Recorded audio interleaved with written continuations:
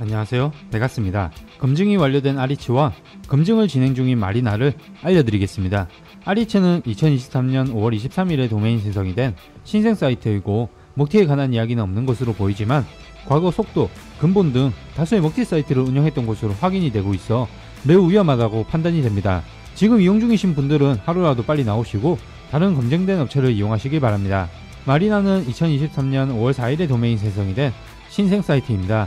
동일 서버에서 운영 중인 곳들과 함께 먹튀에 관한 이야기는 없지만 신규 사이트의 먹튀 발생률이 매우 높으니 검증된 이후에 이용을 하시고 현재 마리나에서 먹튀에 관한 이야기를 아시는 분은 베가스.com으로 먹튀 제보를 꼭 해주시길 바랍니다.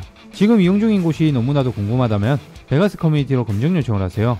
검증을 요청하시면 보다 빠르게 정보를 확인할 수 있고 잘못된 사이트 이름이거나 주소일 경우에 글이 삭제가 될 수 있으니 정확하게 적어주시길 바랍니다. 신속하고 빠른 정보를 원하시면 구독과 좋아요 눌러주세요.